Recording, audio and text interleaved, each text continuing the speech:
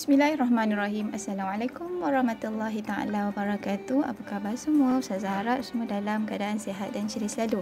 Baik, hari ini kita masuk kepada mata pelajaran akhlak iaitu faedah beradab dalam majlis ilmu. Apa yang kita dapat manfaat kebaikan bila kita duduk dalam majlis ilmu?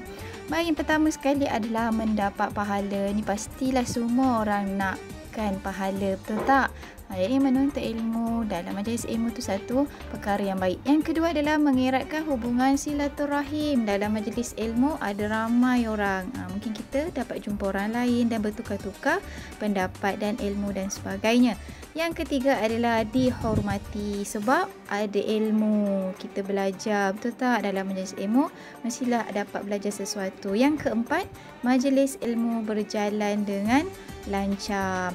Yang seterusnya uh, adalah menjadi contoh yang baik disebabkan kita uh, buat satu perkara yang baik iaitu menuntut ilmu dalam majlis ilmu. Yang keenam, ilmu sangat mudah difahami sebab kita belajar depan-depan, ha, jumpa guru kita.